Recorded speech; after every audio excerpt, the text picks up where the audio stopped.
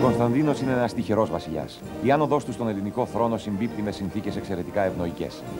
Η ελληνική επικράτεια έχει σημαντικά αυξηθεί με τις νίκες του Βαλκανικού πολέμου και με τη διακυβέρνησή της από το χαρισματικό πρωθυπουργό Ελευθέριο Βενιζέλο μεταβάλλεται αργά αλλά σταθερά σε ένα εξυγχρονισμένο αστικό κράτος.